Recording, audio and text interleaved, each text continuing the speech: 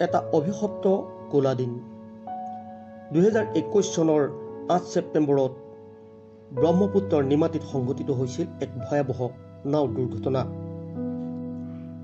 সেই ভয়াৱহ নাও দুৰ্ঘটনাতে মৃত্যু ঘটিছিল লখিমপুৰ জিলাৰ ৰামপুৰ মাধৱপুৰৰ ইন্দেশ্বৰ বৰাসহ তিনিজনকৈ লোকৰ। পূৰ্ণ হ'ল এটা বছৰ। কেনে আছে ইন্দেশ্বৰ বৰাৰ পৰিয়াল? কেনে আছে ইন্দেশ্বৰ বৰাৰ পত্নী? চৰকাৰীভাৱে এটা চাকৰি যোগাৰ কৰি দিয়া হ'ল যদিও এতিয়া কিন্তু মনত এক উৰুঙা উৰুঙা ভাৱ। স্বামীৰ ফটোত ধূপ ধূনা জ্বলাই কেৱল নিবেদিছে দুখ।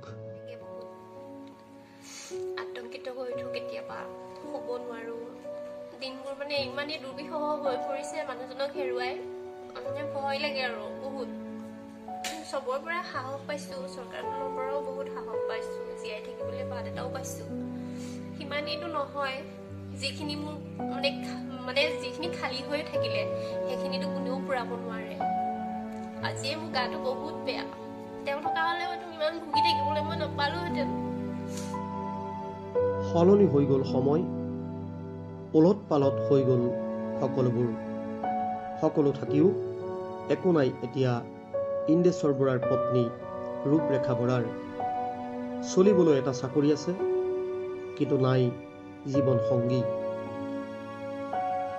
পদে পদে কেৱল মৰ্মান্তিক দুখ আৰু বেদনা।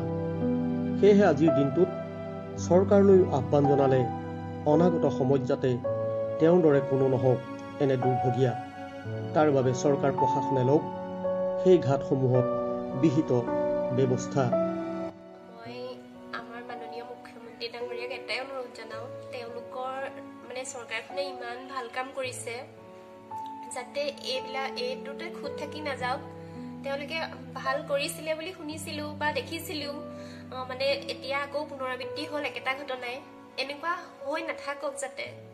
মোৰ নিচিনা দুৰ্ভগীয়া যেন আকৌ দ্বিতীয়বাৰ কোনোবা নহওক। সেইটোৱে বিচাৰো। মানুহখিনিক সুৰক্ষা দিয়ক। আমিও আহ্বান জনাইছোঁ চৰকাৰ প্ৰশাসনে সেই ঘাটসমূহেৰে যাতায়াতৰ ক্ষেত্ৰত সাধাৰণ ৰাইজক দিয়ক নিৰাপত্তা।